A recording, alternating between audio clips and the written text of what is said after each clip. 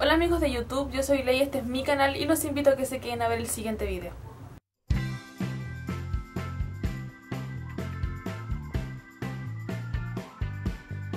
Bueno, hoy día les traigo un libro que disfruté mucho, que fue un poco aterrador en algunas partes, pero fue muy entretenido poder leerlo. Y les estoy hablando de La Casa del Pecado de Isabel C. Lemus. Está gracias a la editorial Forja y le agradezco a su autora por haberme entregado este ejemplar, porque en realidad es increíble, realmente increíble. Yo no sé, de verdad, y se lo digo honestamente, no sé cómo describir este libro. A mí me gustó mucho, de hecho es muy gordito, me demoré un poquito en leerlo, pero lo disfruté y me encantó. Siento que es una historia muy muy buena y tengo un solo reparo, pero que lo diré más adelante en el video. bueno, esta historia parte en un pueblo pequeño de San Luis. Bueno, la familia Golé es quien se va a este pequeño pueblo y siempre les gusta pasar sus vacaciones ahí. Es un lugar donde el tiempo no pasa, donde todo pasa quizás más lento, donde pueden descansar, estar tranquilos, disfrutar del mar, de buena compañía y todo excelente.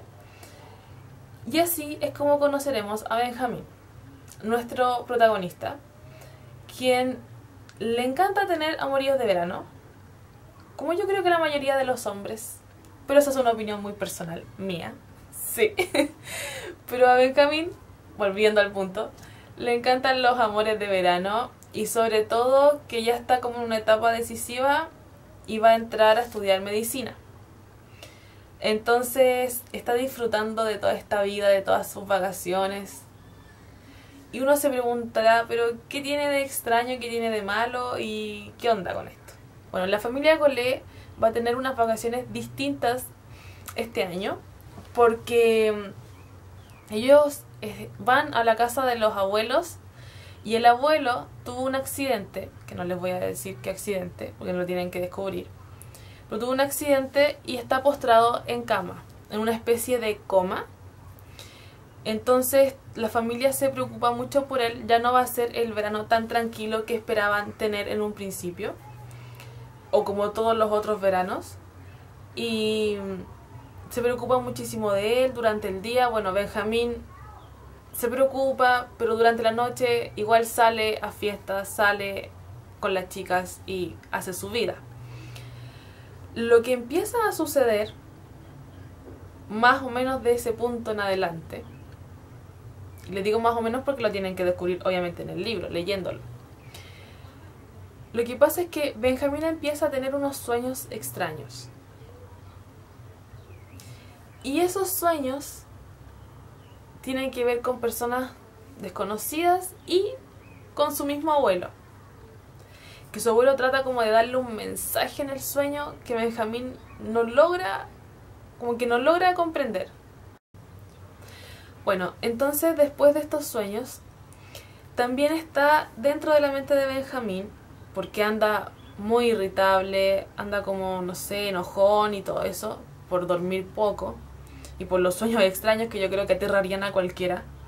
Porque sí, cuando uno tiene pesadillas, uno sufre, por lo menos yo, y después ando como todo el día mañosa, como me irritada y como que ando llorona inclusive de repente. Pero bueno, ese es como un paréntesis. y siguiendo con Benjamín, él empieza a darse cuenta que hay casas del pueblo que lucen bastante abandonadas. Y otras que de plano están abandonadas. Entonces, él empieza a investigar el por qué. Como que han sido echadas igual del lugar, o sea, han recibido amenazas y todo el tema.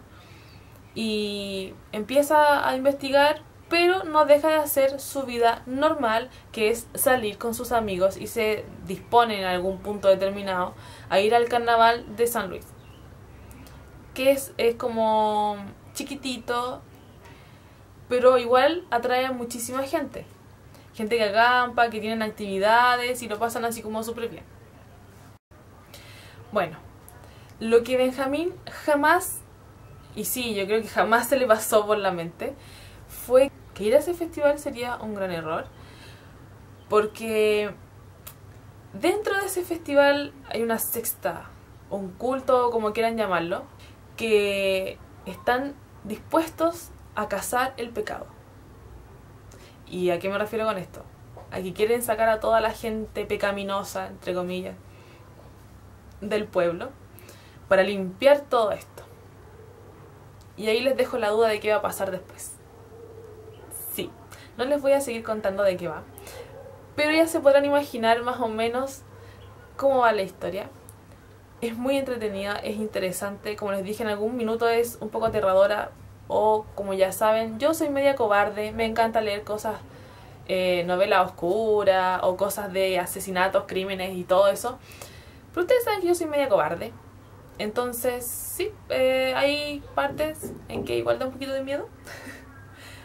Pero tampoco tanto, es como lo normal. Y bueno, para terminar el video de hoy, porque ya les dije todo lo que podía decirles sobre este libro, les voy a dejar muy muy recomendado el que lo busquen, lo lean, lo compren, lo disfruten, porque no se van a arrepentir. Como les dije, es una lectura muy muy buena, yo se las recomiendo de verdad muchísimo, así que les mando un beso enorme. Les dejo mis redes sociales, las de Forja y las del libro, aquí abajito en la cajita de descripciones. Que tengan unas excelentes lecturas. Nos vemos pronto. Chao.